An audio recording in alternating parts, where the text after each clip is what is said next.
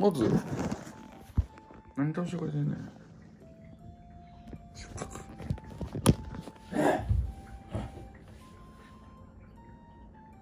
さあということでね。またまたまたまたのまたまたちょっといろいろ作っていこうかなと思います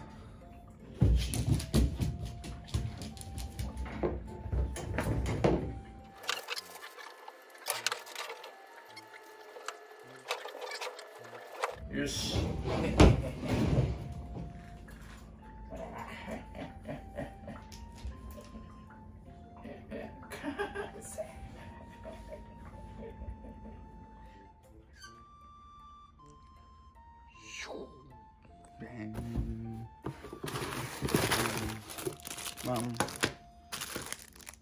まずはねたまこちゃんの泊まるスペースですね。なんかもうちょっと広くて泊まるスペースがあった方がいいよと教えていただいたので購入。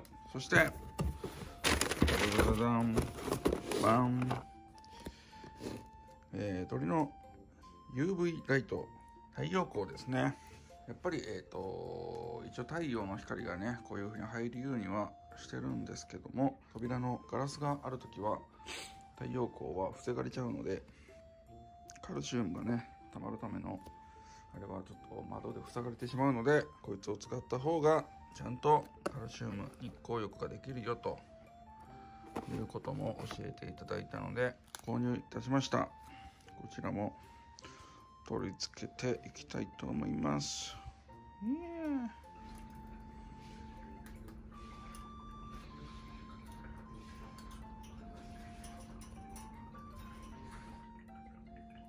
とパッパッ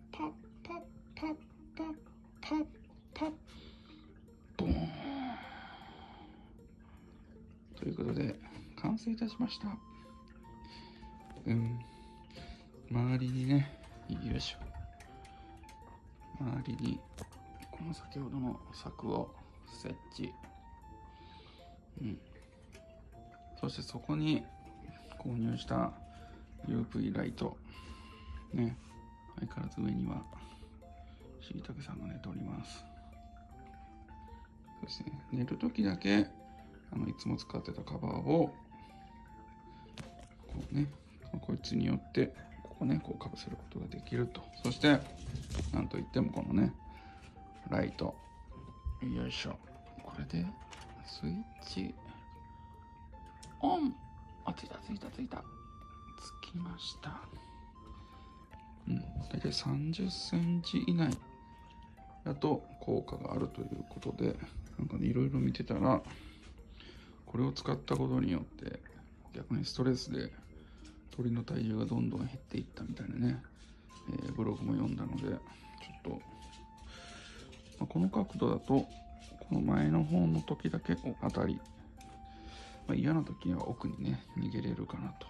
大体6時間から8時間、まあ、つけてもいいよということなんですけど平日は仕事中ずっとつけるのは怖いので朝ですね。朝つけてあげてちょっとでも当ててあげると。ねえ。ねえ。そしてバンここですね。泊まり。多分今まだちょっと警戒して全然登ってはないけどここがちょっと広くなったのでちょっとゆっくりとカバーすることによってねこのしいたけは眩しくないと。眩しいよよ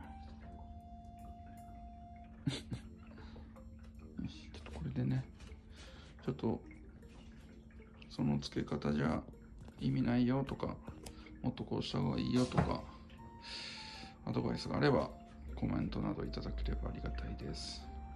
ほんとちょっとコメントでねいろいろ言っていただいて、ちゃんとやらなきゃなと。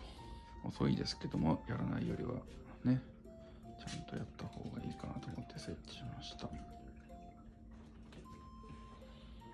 そして何よりそうそうそう何より卵さん。かなり元気になりました。わーわー普通ぐらい結構もう歩き回ってるのでもうちょっとあと数日したらちょっとね前のように部屋の中を飛んでいただこうかなと。もう少しだけ様子見て飛んでいただこうかなと思います。うん。よかったねたまさん。たまさん。卵。卵。ほらほら。ほらもう余裕っすわ。はいはい。はいはい。軽快なもんっすわおうおうおうおうおう。いや。よししばらくこれで様子見つつ。そこのぐらいだ登れ。ほら。ねいいね。UV ライト。気持ちいいね。ということでしばらくこんな感じでやっていきたいと思います。わす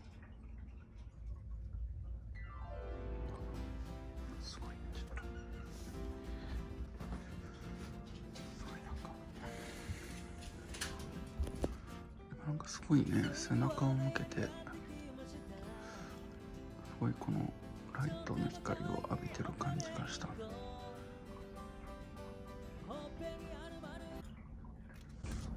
あほらほら。ちょりちょり言うてる。ちょりちょり